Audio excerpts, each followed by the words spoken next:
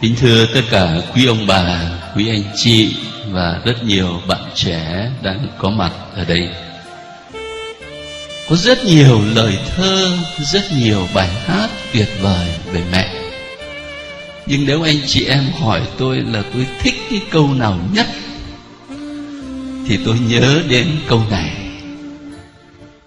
Không phải của người Việt Nam mà hình như là một câu châm ngôn của người Ả Rập nói rằng, vì thượng đế không thể có mặt khắp mọi nơi, cho nên ngài đã dựng nên các bà mẹ.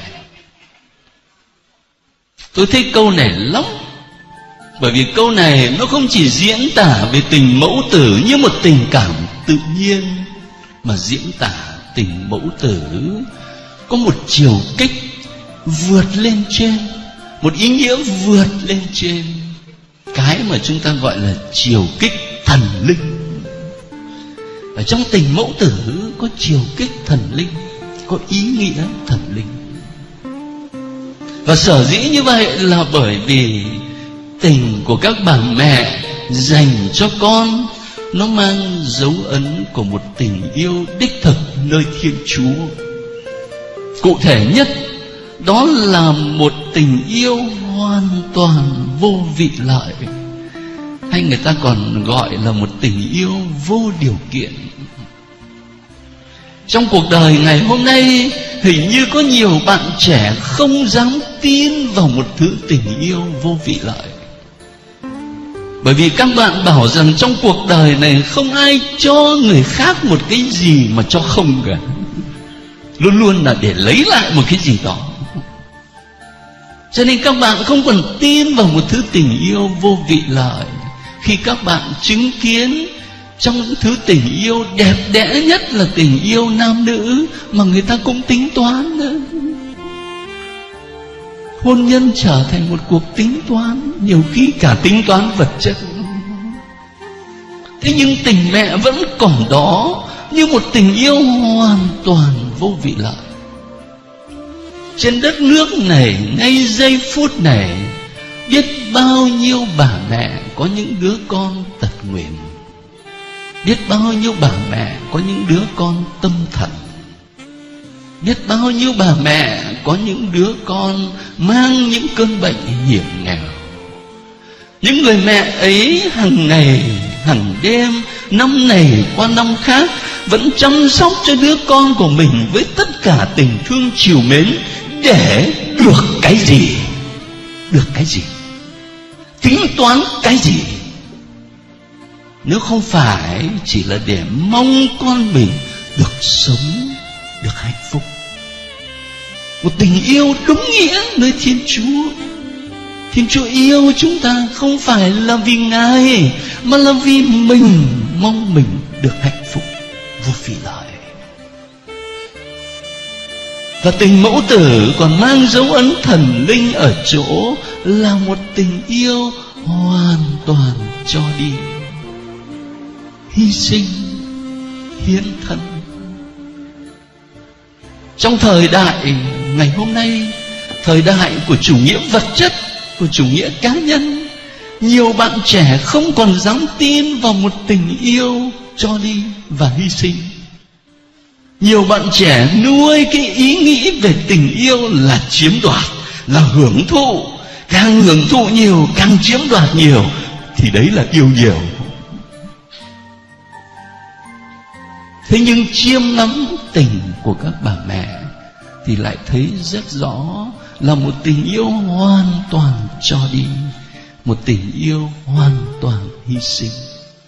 Cho nên nơi tình mẫu tử không chỉ là những tình cảm tự nhiên mà có dấu ấn của thiên chúa ở đây. Xin phép được nhắc lại điều rất đơn sơ nhưng căn bản ấy để cảm ơn các bà mẹ đang có mặt ở đây.